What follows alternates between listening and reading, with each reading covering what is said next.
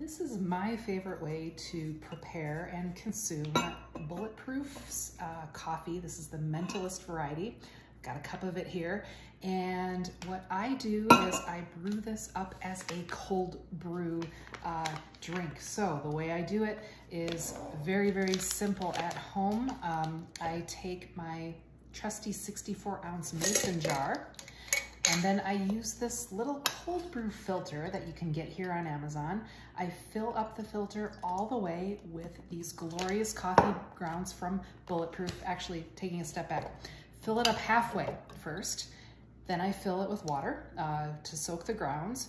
Uh, so halfway with coffee grounds, give it a little bit of water so that all the coffee is uh, saturated, and then uh, wait a few minutes and put the rest of the coffee into the filter, filling it up to about that high with about an inch or so to spare, um, and then adding the rest of the water very slowly until your jar fills up.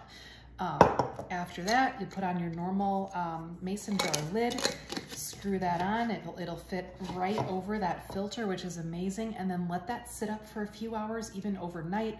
Um, the longer you let it sit, the richer that coffee will be. So again, this is my favorite way to prepare and consume Bulletproof's The Mentalist Coffee. If you do not know, uh, Bulletproof is very, very strict about their quality, so you're not going to get mold in this coffee. Um, the taste of this is extremely rich. It's got, um, I pick up the most of a nutty flavor. It's got a medium roast, so it's very, very uh, palatable, not too acidic, um, and you're just going to get a ton of flavor punch if uh, brewed as a cold brew.